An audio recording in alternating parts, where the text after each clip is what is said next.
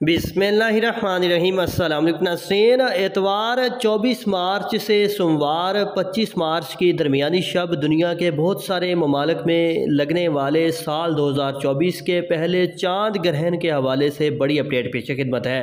पाकिस्तानी वक्त के मुताबिक साल 2024 का पहला जज्वी चाँद ग्रहण कितने बजे शुरू और ख़त्म होगा?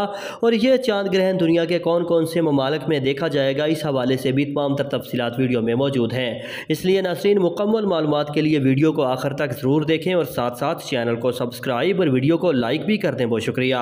नासरीन माहरीन फल्कियात और नासा की जानब से जारी करदा ताज़ा तरीन रिपोर्ट के मुताबिक साल दो हज़ार चौबीस का पहला जुजवी चाँद ग्रहण इतवार चौबीस और पच्चीस मार्च के दरमियानी शब को दुनिया के मुख्तलिफ़ मुल्कों में देखा जाएगा।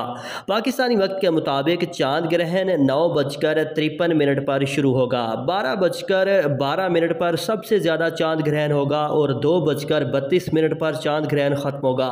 यह चाँद ग्रहण बर अज़म Europe Australia Africa, America Antarctica Japan, Indonesia समेत बर अज़म एशिया के बाद मुल्कों में भी देखा जाएगा। तहम नसरीन पाकिस्तान, सऊदी अरब, भारत समेत बर अज़म एशिया के दीगर ज़्यादातर मुल्कों में दिन होने की वजह से ये चाँद ग्रहण नहीं देखा जा सकता।